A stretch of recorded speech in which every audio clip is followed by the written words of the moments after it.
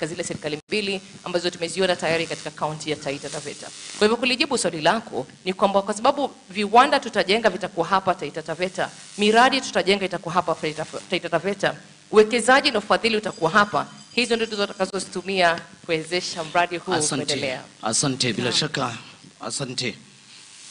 Labda katika swali hilo, katika kuboresha masuala ya afya katika kaunti ya Taita Taveta, Bwana Mrutu, tumejaribu kidogo kuangalia manifesto yako, kile ambacho umesema ambacho utafanya katika sekta ya afya, na moja kati ya masuala ambayo umezungumza hapo ni katika kuwa na mpango wa kuhakikisha kwamba tumekuwa na ile ambayo umehitaji hapa kwamba tutakuwa na trauma center, kwamba ukichaguliwa tutaweza kuwa na huduma kama hizo.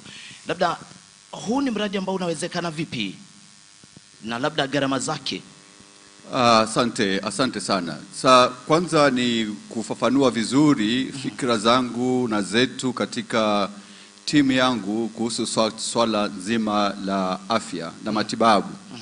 Na lazima tuanzie lile ambalo ni la msingi, pamoja na kwamba kuna yale mengine ambayo tunafikiria kwamba tuyafanye mapya, lakini swala la kwanza lazima tuhakikishe kwamba dawa zinapatikana katika hospitali zetu. Hilo ni la kwanza, ni la kimsingi na ni la muhimu kabisa na fikra zangu tofauti na za, za Madam Patience Nyange eh, lakini ukweli ni kwamba zile pesa ambazo zinapatikana hivi sasa, mgao wetu unatosha kutununulia madawa.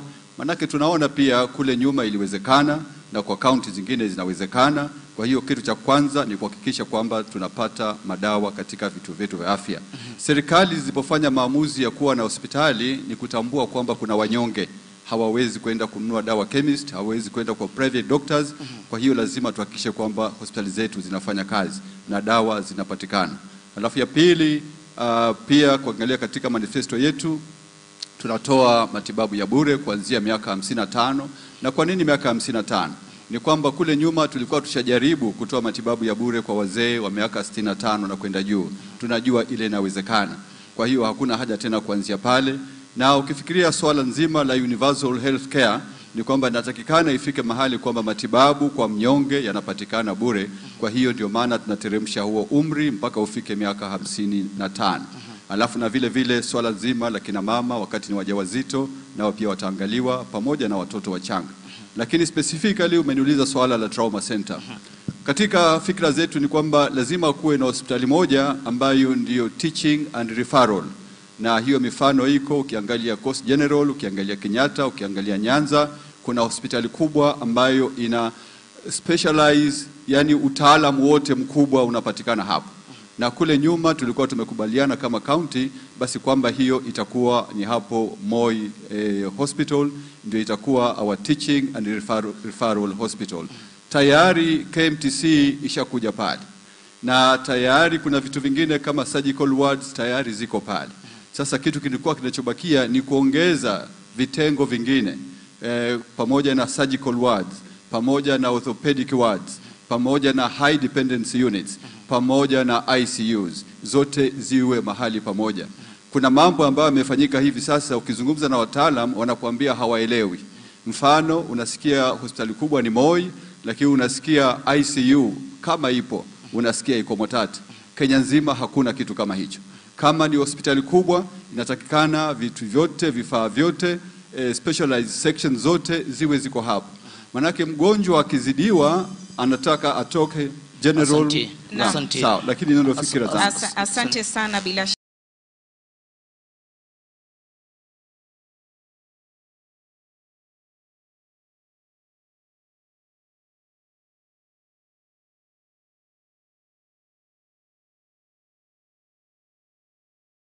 shaka kwa kengele ni kumaanisha kwamba muda wako umeisha, lakini tunashukuru kwa kujaribu kujieleza uh, yale ambayo umepanga kwa ajili ya sekta ya afya. Tukiwa bado tunasalia katika sekta hiyo ya afya, nitarudi kwako uh, Faustin Mgendi kueleza bila shaka kwako wewe kujitosa katika kinyang'anyiro cha kuwania kiti cha ugavana, pengine kuna utathmini na utafiti wako ambao umefanya. Je, changamoto zipi ambazo umeona zipo katika sekta ya afya na una mpango gani? Asante. Kwanza, mambo ya afya lazima nieleze kwamba iko mara tatu, iko preventive, curative na palliative. So I'm already a stakeholder kwa mambo ya afya. I'm the founder of Hospice of the River County ambayo inawashughulikia wagonjwa wa saratani hapa kwa county. Ukiingia Moi on the left side utaona container mbili pale, nilizinunua kuziweka pale na tulianzisha clinic pale.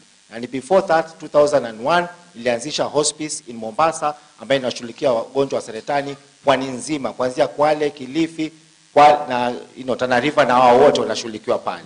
Now, nianze kwa manifesto yangu ya hapa Taita Taveta. Mpango wangu ni nini upande wa afya? Twende na Moi kwanza.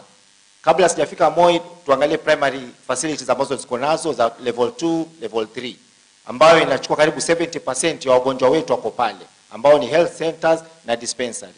Kwa sasa nyingi zinafanya tu siku mpaka Jumaa, imefungwa mpaka Jumatatu. My plan ikiingia ni kwamba hizo facilities za primary facilities ambazo ziko nayo health center zifanye 24/7 siku saba na zifanye 24 hours, na pia nitawezesha kuwa na maho, nyumba pale za madaktari, pakiwa na emergencies za jioni ziweze kuwa pale pia, na pia nita ensure that wako na at least four staff, wawe na clinical officer, two nurses and a lab facility, wawe wanaweza hudumia watu wamalizike pale. Nikikuja upande wa Moi, unaona tuko na theater mbili tangu gatuzi uanze na theater moja tayari iko, iko dedicated to the women na mambo ya pregnancy. We need to add theaters pale. We need to expand the outpatient department.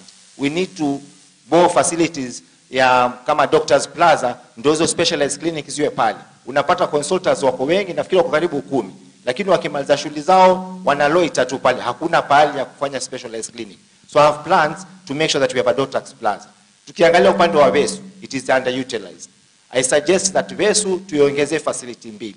Hapa ukiangalia Taita Taveta na kwingineko tuko na issues za mental health ambapo watu wengi kwa sababu ya depression na mambo mengine kuna problem pale. Unapata mtu akiwa na shida lazima apelekwe Madhari Nairobi ama Port Mombasa. Can we have also a facility in Vesu ambayo inashughulika na mambo kama hayo? Pia mambo ya midaharati. Vijana wetu wanasumbuka sana. Hakuna rehab ya serikali. So in Vesu being underutilized, I want to make sure that there's a specialized clinic pale ya mental health na mambo ya mihadarati. Tukikuja hapa Mwatate imekuwa imepandishwa to level 4 but level 4 haifikishwa pale inatakana.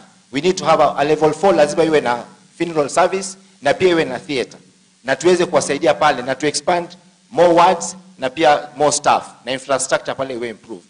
Tukiangalia mambo ya Taveta pia kuna kasheshe pale. Taveta ukiangalia mpaka leo na ugatuzi wote huu tuko na asbestos ambazo ndio roofing yake pale. Asbestos ina, inaongezea kwa mambo ya kansa. And being a stakeholder na kansa najua pale. Nikiingia hizo roof ndo za kwanza kutoka Asante. pale tuweze ku kuimprove those facilities. Asante, na bila shaka ningependa kuwakumbusha tu mabibi na mabwana, kama tulivyosema, tujaribu sana kufuata sheria zetu. Uh, tusitumie simu katika mdahalo huu ili tuweze kumakinika sote. Mheshimiwa Dan Mwazo, naja kwako. Katika manifesto yako umezungumza masuala kadhaa na lipo swala ambalo umetaja pale, ukasema katika sekta ya afya utahakikisha kwamba wale ambao wanafaidi na huduma za bure ni wale ambao wamepitisha umri wa miaka sitini na tano. Labda kuna kitu nasikia hapo. Mheshimiwa Ruto amezungumza kuhusu umri wa miaka hamsini na mitano. Patience Nyagi anazungumza kuhusu miaka sabini. Labda utatuambia kwa nini miaka sitini na tano, lakini ukijibu hilo, naomba kukuuliza labda katika mpangilio mzima, manake unasema kwamba address the welfare of health workers. Je, unamaanisha kwamba hospitali zetu ziwe zinajitegemea, wizara ya afya isiingilie ile tunasema hospital autonomy? Labda ni kitu utaunga mkono e, kwamba wewe kama gavana, wizara ya afya isiwe kwamba inaingilia uendeshaji wa hospitali zetu. Naam. Ah, ah, Nikizungumzia habari ya welfare ni welfare ya wafanyikazi. Kuna matatizo matatu katika kupeana services za afya. Ya kwanza ni low morale ya wafanyikazi, hawajalipwa miezi mitatu, miezi minne. Ya pili, hakuna madawa. Unapokwenda popote pale katika kaunti hii, mtu anaandikiwa prescription aende kununua dawa, na kama hana pesa, labda hapo ndio mwisho wa maisha yake. Ya tatu, facilities pale ndani. For example, nimeona siku nyingi ambulance hakuna, ICU hakuna, high dependence unit hakuna. Ukienda pale wadi utakuta vitanda watu wanalala watatu wanne. Kwa hivyo hiyo ndio nilikuwa na maanisha Ya kwanza kwa organization yoyote, kitu cha kwanza ni wafanyikazi, kwamba wao motivated ili wawe productive. Kwa hivyo ya kwanza nita make sure kwamba watalipwa mshahara yao kwa wakati unaofaa. Ukisema kila mwisho wa mwezi, basi tarehe thelathini wapate mshahara. Ya pili, nimesema hapo moral, lazima ni wa engage katika team building, kuinua morali yao. Kwa sasa hawana morali kabisa, wako pale sababu hawajapata kazi nyingine. Ya tatu ni kwamba facilities. Na facilities, kuna zile permanent structures na kule zile mobile. Kwa hakika ukienda katika hospitali zetu kama hii ya Voi, mara nyingi unapiga ambulance, unaambiwa imeenda Taveta, ikirudi ndio itakuja kuchukua mgonjwa, na tunajua kwamba kuna ambulance zimenunuliwa na katika serikali hii ni nyingi, lakini zote ziko grounded. Ya nne ni kwamba Foi kama referral hospital lazima tuwe na kila kitu. Wengi wa wagonjwa wetu wanapokwenda kule Mombasa, naamini na ninajua wanarudi na masanduku, manake pale wakienda, kwanza ni mbali, ya pili wakipata jamu wanaweza kuishia njiani. Kwa nini kama county tusiwe na referral ya kweli, iko na facilities? Na ndio maana katika manifesto yangu nimeweka hapo new referral hospital hapa Voi, na unaona nikiweka four floors kule juu kutakuwa private wing.